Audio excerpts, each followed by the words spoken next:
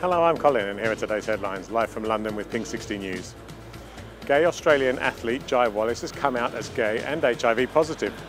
The 2000 Olympics silver medal winner said Greg Louganis inspired him to stand up. The Peter Tatchell Foundation is organising a protest in London at the Russian refusal to allow a Pride House during the 2014 Sochi Olympics. This year's Pride House in London has been a huge success.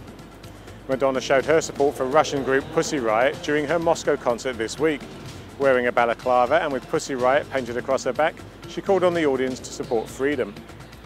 A gay Michigan University student is suing a former Assistant Attorney General for harassment. Andrew Shirvell was fired after posting anti-gay blogs about Chris Armstrong and even stalking him on campus. And finally, Joan Rivers handcuffed herself to a shopping trolley on Tuesday in protest at a US chain store refusing to carry her new book. Costco said they will not carry it because of profanities printed on the back cover, and Joan was escorted from the Burbank branch by police. That's all from us here in London. Join us again tomorrow.